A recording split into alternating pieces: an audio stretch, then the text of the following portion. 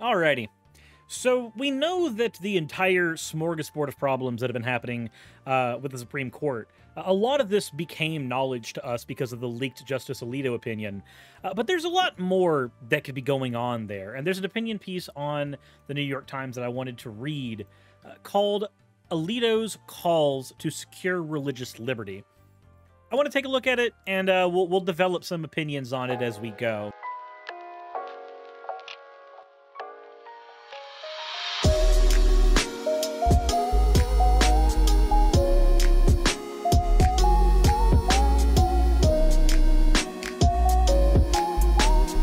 One is from Green Tea Skittle.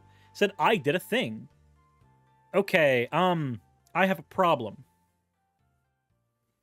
And that problem is that I I think this needs to be an outfit. I I want this to be an outfit. It doesn't even have to be on Slime Girl Suris. Did I just want this outfit. This is amazing. This is adorable.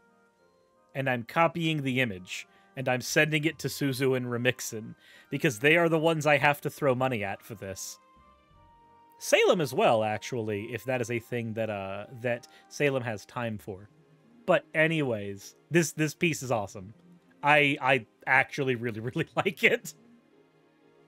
Suris will go into debt for the cat girl. Don't tell them that, Fauna. It's true though.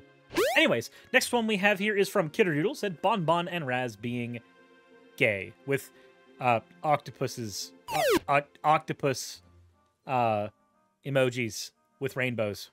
That, yep, yep, yep. To to clarify, Bon Bon and Raz are not dating, uh, but they were doing uh, double takeover on the subathon a couple of times when I had AFK. So those memes came from that.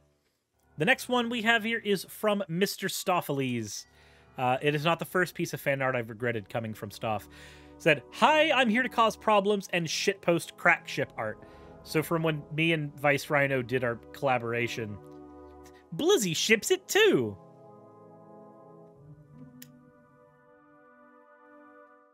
Bah. Smacko says, subathon for nonstop commissioning. I'm 100% unbiased in this, of course. Yes, Smacko, as an artist whom I have paid United States dollars to, uh, you definitely are unbiased in this particular scenario. Uh-huh. Don't don't even don't even at me. As always, thank you all for your fan art submissions. If you want your fan art to be shown in a future video, the best way to do so is to drop it into the fan art section of the Discord.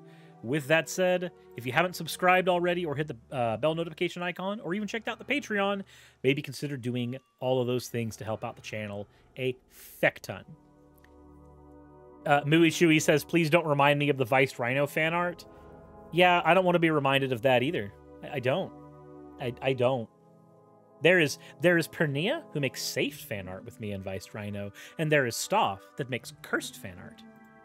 Two very different angles of attack. As always, though, it's time to go ahead and get into the actual piece itself now that I have disparaged my mods. Alito's call to secure religious liberty, which would sound perfectly reasonable on its own, but let's see what we have here. Barely a month after handing down the majority opinion that erased the right to abortion, Justice Samuel Alito traveled to Rome to give a keynote address at a religious liberty summit, convened by the Religious Liberty Initiative of the Universe of Notre Dame's Law School. As the video that Notre Dame posted of the bearded justice delivering his remarks made clear, this was a victory lap. I don't like that that's the case. Like, I would think that our justices should be apolitical enough uh, that they wouldn't be doing a victory lap after taking away our uh, our freedoms. But you know, that's living in a world that we don't live in. The press coverage of that speech last month mainly focused on his snarky comments about world leaders who had the uh, effrontery to criticize what the Supreme Court had done in Dobbs versus Jackson Women's Health, Organiza- Women's Health Organization. One of these was a former Prime Minister Boris Johnson, but he paid the price. Justice Alito deadpanned as laughter filled the majestic Galleria Cal- uh, Calana. Is is that what happened with Boris Johnson? I'm pretty sure there were a sea of issues with him in office that just eventually caught up to him. And circumstance made it actually coalesce the way it did. But okay, the self aggrandizement of saying that, look at what happened to Boris, I did that. One can debate the degree of bad taste displayed by such a remark, but that's not my concern. What interests me about this talk was its substance a call to arms on behalf of religion. The challenge for those who want to protect religious liberty in the United States, Europe, and other similar places, Justice Alito said, is to convince people who are not religious that religious liberty is worth special protection. On one level, there's nothing surprising about such a declaration from Justice Alito. We know where he stands on religion. He is the author of a long string of opinions that have elevated the free exercise of religion above civil society's other values, including the right to be discriminated against and the right to enjoy benefits intended for all. He wrote a concurring opinion on June's astonishing decision that permitted high school football coach to commandeer the 50 yard line after games for his personal prayers over the public uh, school district's objection. Let's go ahead and halt there for a minute to talk about that particular bit of info. I don't remember if we did a topic on that. We might have, but I, I could be wrong. But the basic idea is that there were students who were going to get discriminated against for not praying on those lines because it would make them stick out like a sore thumb in I believe it was in Texas where the majority of people are Christian anyway. So doing like signaling that you're not a Christian to all of your peers is a death knell for you. And Alito is like, "No, no, this is fine. This is fine. Discriminating against them is fine." Creating an environment where religion cannot enter into the conversation where school is concerned is the way that we need to go because not everybody shares the same religion. And making people basically publicly show what religion they have when they're in a school, an environment where none of that belongs. That's the angle we should be going for because that's the angle that benefits a religious people and religious people alike.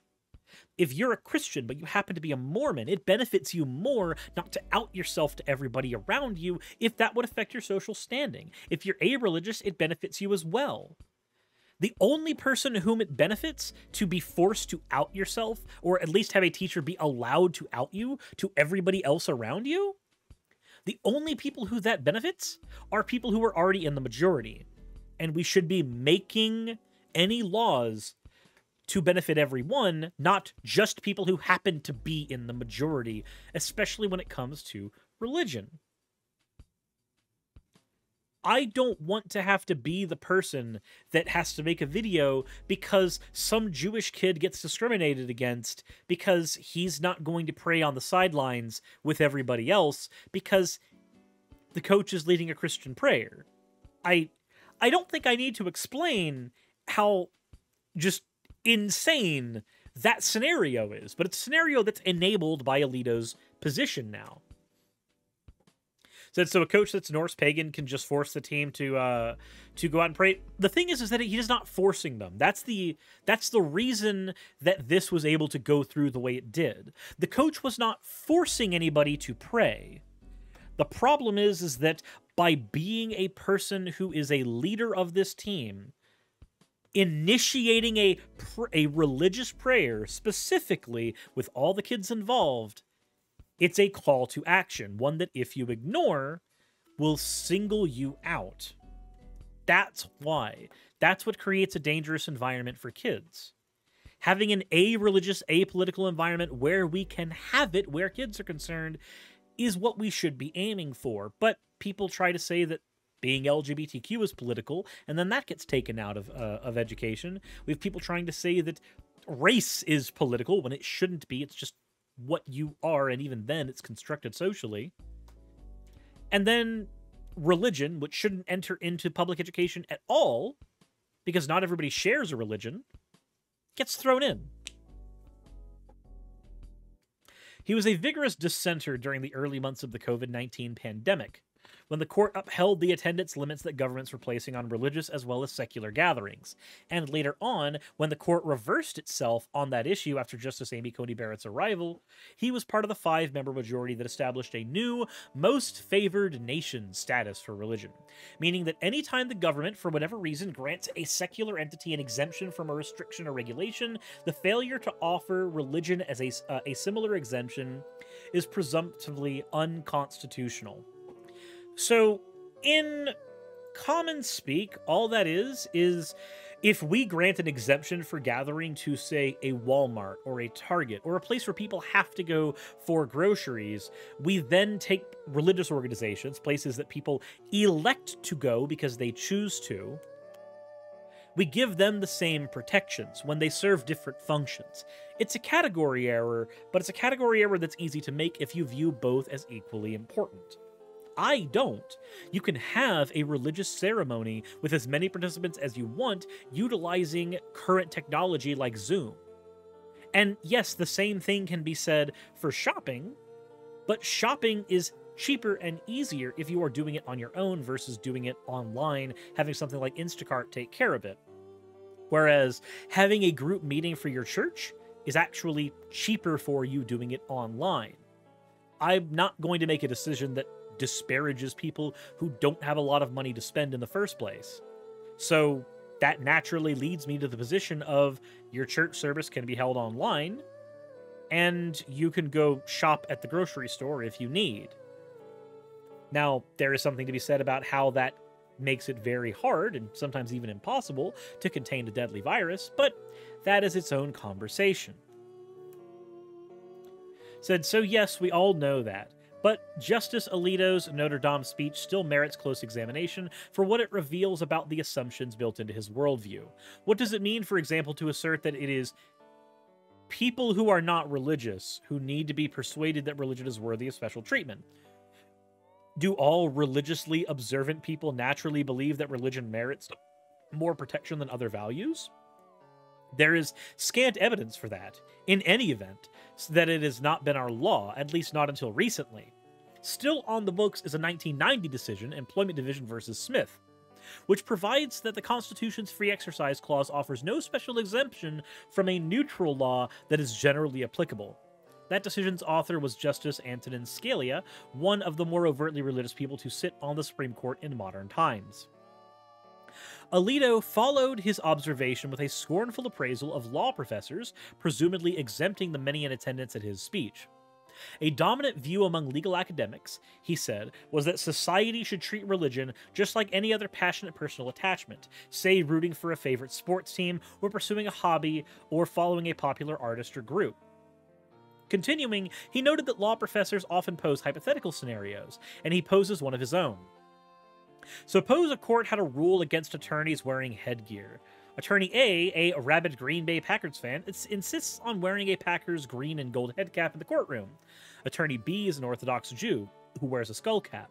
Attorney C is a Muslim woman in hijab or any other head covering. If A can't wear his Packers hat, is it still possible to accommodate B and C? Well, for me, the Constitution of the United States provides a clear answer. Some of my colleagues are not so sure, but for me, the text tells the story. The Constitution protects the free exercise of religion. It does not protect the free exercise and support of Packers. So, I want to agree with this statement. I, I really do because it can be just as problematic if you happen to be in a highly religious household to go somewhere that will force you to do something that is not in line with your religion. Sure, why not? But at the same time, I have to ask you, are these even equatable? When we are talking about treating exercise of religion the same way that somebody treats, say, oh, I don't know, a sports team. We're talking about matters of necessity. Said no Packers, but I get dysphoria without mine. different, different Packer stuff. Different Packer stuff. Like, I want to agree with this, but at the same time, I can't. Because the problem with this logic is that all religions of any kind merit the exact same importance for our society.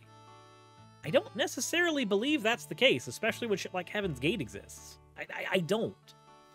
Again, a religious ceremony can be held with equal efficacy online. A music event can be held with efficacy, efficacy online. Viewing people going to a church outside of staying in their cars or outside of being in the middle of uh, of a Zoom meeting, viewing that in a vacuum would lead you to the decision that they should be allowed free exercise in any case whatsoever. The problem is is that the world doesn't exist in a vacuum. We don't have the ability to analyze this through the vacuum of if religious good, if not religious who care. We have to look at it through the uh, through the situation in which it occurred. This occurred during the height of COVID. So what you're telling me is that two things. One, it is more important for people to exercise their religion than it is for us to view the health of our population in total. And by health of our population, I mean in ways we can clearly measure. People getting packed together in the middle of a Greg Locke sermon ends up being a super spreader event. And I'm sorry if that seems to be an issue, but the reality is packing a bunch of people together in a church does not help you when you're dealing with a virus. Whereas you're going to get the exact same sermon from the exact same person, and you'll be in a digital room with the exact same people utilizing something like Zoom. I say this as somebody whose grandmother literally does this over Zoom with her congregation.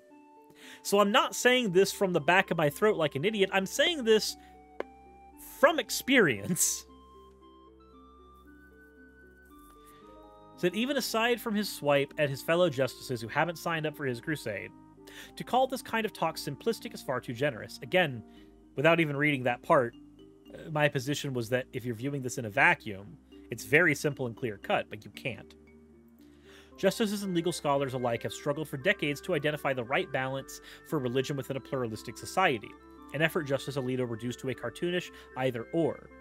Even were I willing to cut him some slack or lose uh, uh, for loose talking among friends, I don't know whether he was aware that Notre Dame would post the video online, I would still find the narrowness of his vision deeply disturbing. He offered no acknowledgement, none, of the harm that can occur when religion is elevated above all other claims to recognition and respect. For example, in the aftermath of his, of his opinion in the 2014 Hobby Lobby case, Tens of thousands of women have never received the contraceptive coverage to which the Affordable Care Act entitled them because they work for employers with objections to particular forms of birth control. His opinion in 2020, extending the so called ministerial exception to cover non ministerial employees of religious organizations, stripped those employees of protection of federal laws that prohibit job discrimination. And of course, the very opinion he bragged about to his audience in Rome, and opinions that I have recently explained was grounded on the religious doctrine doctrine rather than constitutional law, took no account of its devastating impact on women.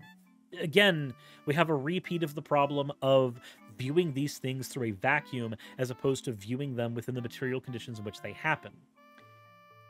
I would like us to have a more materialistic and more pluralistic society a society where people who are religious and people who are a-religious can both accept that they have to exist within the same geographical bounds, and we need to make accommodations for all of us, but also for us to accept that because not everybody who is religious can agree on the existence of other deities, then we need to just maintain a materialistic approach to everything. And yeah, that technically does favor people who are atheists more but that ends up being more circumstantial than anything. Operating within the material world just means that we're operating within the world of things we can see, measure, and have results. At least when it comes to trying to operate decision making, laws. Ideally, also when it comes to employment opportunities. For those who don't know, when I was working at McDonald's, I literally got written up on the basis that God told an employee I did something wrong. And that was viewed at my job in the American South as enough to merit a write up. God told an employee I did something wrong. That employee reported the thing God told them to a manager. A manager who was on the same pay grade as me. That pay grade got special permission from a manager higher than us to authorize going through with my write up. And then when I tried to confront the employee who said that I did wrong things, they said that Jesus told them to. And so I had no authority on the matter. Since that is my experience, a thing that I have had to deal with here, I'm just going to say, just the long and short of it is, we should view most pluralistic decisions through a lens of materialism. Because elsewise, scenarios like that crop up all the time. Uh, Cult of Winter, thank you very much for the follow. In speeches as well as opinions, Alito has warned of a growing hostility to religion. And he did the same in Rome, denouncing what he calls hostility to at least the traditional religious beliefs that are contrary to the new moral code that is ascendant in some sectors. This was the Alito of his. Uh, this was the Alito of his opinion dissenting from the Obergefell versus Hodges decision, which recognized a constitutional right to same-sex marriage. He predicted then that those who cling to old beliefs will be able to whisper their thoughts in the recesses of their homes, but if they repeat those views in public, they will risk being labeled as bigots and treated as such. Yes, that's a feature, not a bug, Alito. Yes if you say that gay people shouldn't marry and you say it within the con- within the confines of your own home, nobody cares. The minute you start saying that out in public with people who might be gay, having to listen to the shit that you say, guess what? Suddenly people care. Wow, it's it's almost like this is basically how a society works. That's that's how this shit works. You can say whatever the fuck you want in the privacy of your own home. But the minute you go out in public, you have to make some accommodations for the other people in public. Holy shit! What a weird thing for a Supreme Court justice not to have a basic understanding of. That's just weird. In Rome, more clearly than in the past, Alito provided his own definitions of religious liberty, an expansive definition that mirrored the court's holdings in the summer praying coach case. In that case, the school district of Bremerton Wash had offered the coach an alternative place where he could pray after the games. But the coach insisted that he felt religiously compelled to pray in public in full view of the spectator stands. The court, which in the past was notably stingy when it came to the free speech rights of public employees, endorsed this expression of militant Christianity. In his Rome speech, Justice Alito did not refer explicitly to that case, but his definition of religious liberty underscored and explained the court's remarkable departure. Religious liberty must mean more than simply freedom of worship. Freedom of worship means freedom to do these things that you like to do in the privacy of your own home, or in your church, or your synagogue, or your mosque, or your temple. But when you step outside of the public square in the light of day, you had better behave yourself like a good secular citizen. And he said that's the problem we face. If that is a problem, it's one that Justice Alito has solved for himself. His religion does not reside in the quiet recesses of his home or chambers. His is religion on the march. And that's the problem the rest of us face now. And that's the end of the article there, so this is where we can come to a few conclusions here. Uh, John Head 12, thank you for the follow. The first one we can talk about is the fact that nobody should limit your practice of religion out you know, in in your church, in your synagogue, or wherever you happen to be, as long as it doesn't infringe on the rights of others. But when he talks about things like the Obergefell uh, case, what he ends up talking about is where religion ne- uh, necessarily has to encroach on other people and their beliefs and their lives. I would love to live in a purely pluralistic world where everybody recognizes that we have different beliefs, but we don't let that extend to trying to harm and control each other. where the only things that we try to stop are the things that are expressly harmful to the other people around us. That's not the world Alito wants to have. He wants to have a world where a specific subsect of American society has the power to make those controlling decisions for other people. Gay people being able to get married is offensive to some Christians, so gay people shouldn't be able to be married at all. Their religion gets to supersede the lives and livelihood of other people. That is not a good world to live in, because again, it's a world that is completely hinging on you maintaining your own majority religion, specifically that. Building a world where our legal accommodations are materialistic and our legal accommodations do not extend past the post for religion creates a world where everybody gets to experience their religion, do what they need to do with their religion, and live their religion without harming people who are a religious or do not share their religion. But that's not the world that Alito wants to make. He wants to make a world where, in his opinion, Christianity gets to write those rules. He has shown so in his Supreme Court decisions on that he's done, and he has shown so when he goes and talks with others about this issue. I hope that we don't lose gay marriage in the United States. And if we do, I I foresee violence happening. Anyways, let me know what y'all think in the in the comment section below. There's a lot of shit to discuss when it comes to what the Supreme Court is doing lately. And I'm fully of the opinion that the Supreme Court is currently a very, very ideologically motivated body, as opposed to being merely the interpreters they are supposed to be. But let me know what you think in the comment section below. As always, everyone, insert end video tagline here.